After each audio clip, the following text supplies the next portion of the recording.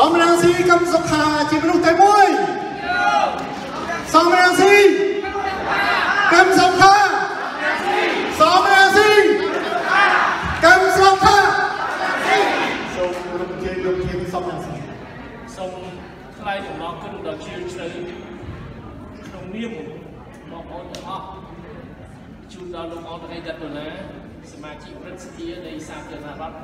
បារាំងដែលបានបញ្ជាក់ អំពីគោលជំហរនៃសហគមន៍អឺរ៉ុបចំពោះការដាក់ទណ្ឌកម្មទៅលើរបបហ៊ុនសែនលោកអន្តរេដដុល្លារបានបញ្យល់ថាការដាក់ទណ្ឌកម្មនេះគឺជាការអនុវត្តច្បាប់ផ្ទៃក្នុងរបស់ទ្វីបអឺរ៉ុបមិនមែនដោយសារអ្នកណាទាមទារ ឲ្យដាក់ទណ្ឌកម្មទេគឺអឺរ៉ុបខ្លួនគេគេសម្រេចចាត់វិធានការដែលជាការគោរពនៅអ្វីដែលគេបានសម្រេចខ្លួនគេហើយនៅអ្វីដែលគេបានចុះហត្ថលេខាជាមួយរដ្ឋាភិបាលនៃប្រទេសកម្ពុជាគេបានផ្ដល់ប្រព័ន្ធគុណអនុគ្រោះនេះគឺដើម្បីជំរុញឲ្យប្រទេសដែលទទួល ផលប្រយោជន៍នោះគឺឲ្យប្រទេសនោះវិវត្តដើរឈានទៅរកលទ្ធិប្រជាធិបតេយ្យពីព្រោះនេះជាការវិវត្តនៃជំនួយរបស់អឺរ៉ុបពីដើមទី50ឆ្នាំពីមុន40ឆ្នាំមុនគឺអឺរ៉ុបគេឲ្យលុយគេឲ្យជំនួយហិរញ្ញវត្ថុត្រង់ត្រង់ឲ្យផ្ទាល់ទៅឲ្យប្រទេសក្រីក្រតែពេលនោះគេឃើញថាជំនួយហិរញ្ញវត្ថុរបស់គេនោះ គឺមិនបានទៅដល់ប្រជារាស្ត្រនៃប្រទេសក្រីក្រទេគឺដល់ថ្នាក់ដឹកនាំជនផ្ដាច់ការក្រុមគ្រួសារជនផ្ដាច់ការដែលគេប្របាញ់ដែលយកជំនួយនោះដាក់ចូលឲ្យបាយខ្លួនឯងចឹងហើយបានអឺរ៉ុបគេគិតឡើងវិញថាមិនជួយផ្ទាល់ឲ្យលុយត្រង់ត្រង់តែឲ្យអ្នកដឹកនាំប្រទេសក្រីក្រវាមិនបានចំណេញដល់ប្រជារាស្ត្រប្រទេសនោះគឺចំណេញតែថ្នាក់ដឹកនាំពុករលួយ ដូចជាប្រជារាស្ត្រទៅបដិដូចជាអាហ្វ្រិកខ្លះប្រជារាស្ត្រទៅបដិមួយជីវិតផ្សាយចំទៅនាយករដ្ឋមន្ត្រីមួយជីវិតទៅចឹងហើយបានគេគិតឡើងវិញគេថាត្រូវតែជួយតាមរយៈពាណិជ្ជកម្មតាមរយៈប្រព័ន្ធមួយដែលលើកពន្ធលើកពន្ធចំពោះទំនិញដែលនាំចេញពីប្រទេសក្រីក្រយកមកលក់នៅក្នុងទ្វីបអឺរ៉ុបហើយគេយល់ឃើញថាធ្វើ បែបនេះគឺវាអាចមានការធានាថានឹងចំណេញបានផលទៅដល់ប្រជារាស្ត្រនៃប្រទេសក្រីក្រប៉ុន្តែគេដាក់លក្ខខណ្ឌច្បាប់ផ្ទៃក្នុងរបស់គេគេដាក់លក្ខខណ្ឌគេថាត្រង់តែរដ្ឋអំណាចនៃប្រទេសក្រីក្រនោះគឺគោរពសិទ្ធិមនុស្សគោរពសិទ្ធិប្រជាពលរដ្ឋទូទៅគោរពសិទ្ធិពលករតាមច្បាប់អន្តរជាតិអង្គការពលកម្មអន្តរជាតិ ហើយធ្វើម៉េចឲ្យប្រទេសនោះគឺឈានទៅរកអធិបតេយ្យឲ្យបានជំហរឲ្យមានសិទ្ធិសេរីភាពក្នុងសង្គមស្ដាយមតិហើយតតិជាតិបតៃសិទ្ធិសេរីភាពនេះគឺនាំមកនៅការដឹកនាំប្រទេសឲ្យបានល្អប្រសើរក្នុងអភិបាលកិច្ចល្អអភិបាលកិច្ចល្អនោះគឺប្រឆាំងគឺប្រលួយគឺឲ្យមានភាពកណន័យកណន័យភាពឲ្យមានតម្លាភាពគឺជាក្បួនខ្នាត នៃការដឹកនាំប្រទេសឲ្យបានល្អចាំបានគេជួយប្រទេសដែលមានអ្នកដឹកនាំត្រឹមត្រូវតែចំពោះប្រទេសដែលមានអ្នកដឹកនាំផ្ដាច់ការប្រលួយគេមិនអាចជួយបានទេគឺត្រូវតែផ្អាក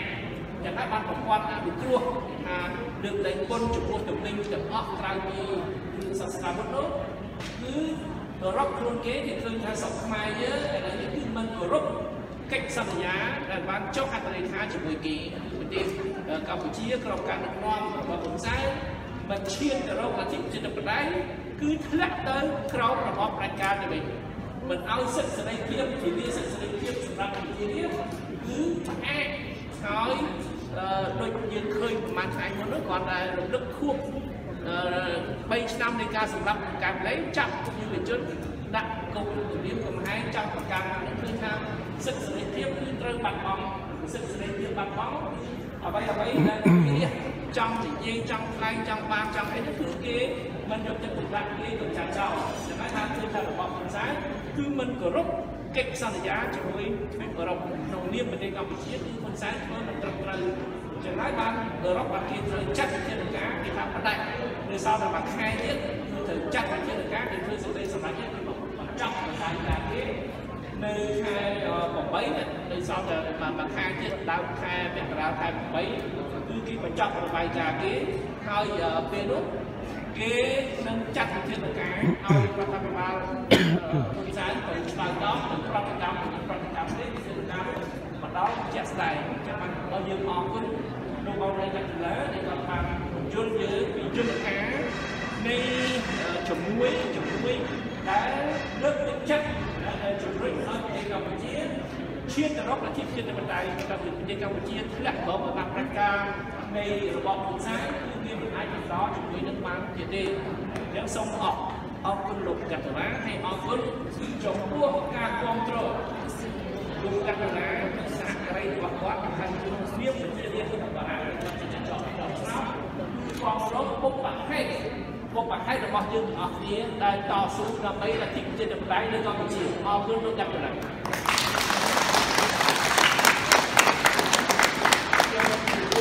្ញុំខ្ញុំមានតែប៉ុណ្ណេះដើម្បីថ្លែងហើយម្ដងទៀតសូមអបអរសាទរថ្នាក់ដឹកនាំដែលបានប្រកាសសុពលភាពអ្វីវិញថ្នាក់ដឹកនាំសាខាគណៈបក្សសង្គមជាតិប្រចាំប្រទេសបារាំងថ្នាក់ដឹកនាំសាខាគណៈបក្សសង្គមជាតិប្រចាំទ្វីបអឺរ៉ុប ហើយយើងបានឃើញហើយបាញ់វិញគឺថាអាណត្តិអាណត្តិកំណត់មួយឆ្នាំពីនេះទៅមួយឆ្នាំក្រោយនឹងមានការបោះឆ្នោតដើម្បីជ្រើសរើសថ្នាក់ដឹកនាំនៃសាខាទាំងពីរនោះតែខ្ញុំជឿថាក្នុងរយៈពេលមួយឆ្នាំហ្នឹងបើយើងខិតខំធ្វើការទាំងអស់គ្នាគឺយើងនឹងបានសម្រេចគោលដៅយើងក្នុងរយៈពេលមួយឆ្នាំគឺយើងទៅសុខស្មារតីទាំងអស់គ្នា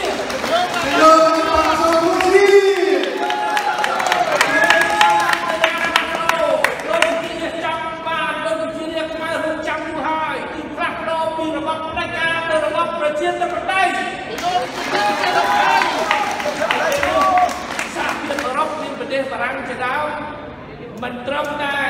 រក្សាជំនួយរបស់គេជួយដល់ប្រទេសកម្ពុជាในការដំណើរបង្កើនជំនួយឲ្យប្រទេសយើងមានភាពរីកចម្រើនជឿនលឿនដូចអរិយប្រទេសក្នុងពិភពលោកមិនមែនស្ថិតនៅក្នុងភាពខ្មៅងងឹតក្រោមការដឹកនាំដល់ប្រេងផ្សាយនៃរដ្ឋាភិបាលរបស់ហ៊ុនសែនទេអញ្ចឹងអរគុណជ័យយោកម្ពុជាមកដា